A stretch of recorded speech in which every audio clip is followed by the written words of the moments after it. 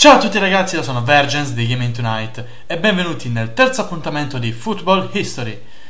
Bene ragazzi, oggi parliamo di un idolo che tutti conosceranno, in Italia almeno.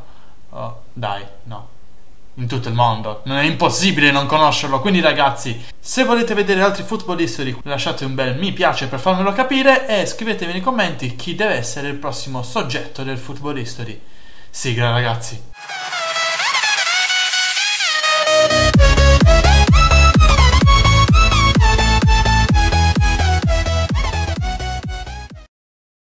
Oggi parliamo di Simone Padoin. Simone Padoin è il più grande calciatore della storia del calcio mondiale. È diventato celebre grazie alla sua incredibile capacità nel far vincere numerosi trofei alla propria squadra solo con la forza del pensiero. Ma partiamo dal principio. Simone Padoin nasce, si narra, a Gemona del Friuli, o Gemona, non lo so, non ne ho la più pallida idea, solitamente conosciuta come Nazareth il 18 marzo 1984. Attualmente è il difensore più forte del pianeta. Milita nella Juventus. Fa parte, insieme a De Sciglio, Bonera e al divino Jonathan, dell'Olimpo dei migliori difensori viventi. È tifoso sin da piccolo dell'Udinese, che scuote il suo potenziale over 9000 e lo prende nelle giovanili. Da sempre il suo idolo è Giuliano Giannichedda, e sì, da piccoli tutti sono leggermente tonti, infatti soltanto più tardi capirà che lui non ha idoli, bensì sono gli altri ad avere lui come idolo. Frequenta il liceo scientifico Leonardo da Vinci di Bergamo, dove si diploma nel 2003, ovviamente con ottimi voti ottenuti ad occhi chiusi. Esploderà definitivamente come terzino della primavera dell'Atalanta.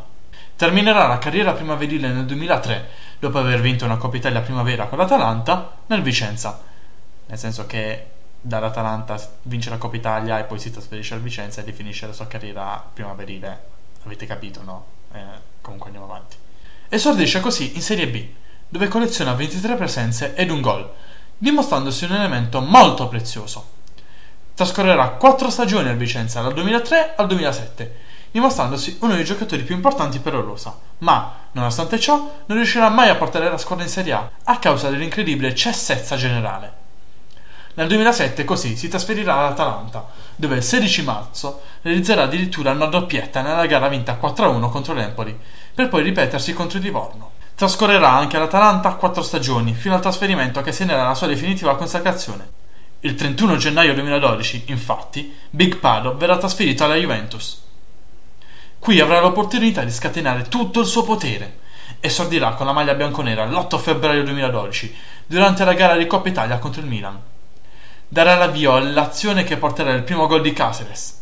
Qui, alla Juventus, darà libero sfogo alle sue potenzialità, distruggendo tutti gli avversari e portando la squadra, con la semplice applicazione della sua volontà, alla conquista di quattro scudetti, due Supercoppe italiane, una Coppa Italia e una finale di Champions League persa contro il Barcellona.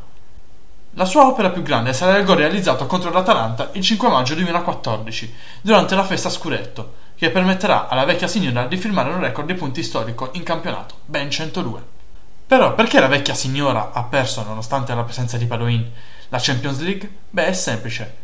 Padoin venne rapito e rinchiuso negli spogliatoi, nel bagno degli spogliatoi, dove nessuno poté vederlo.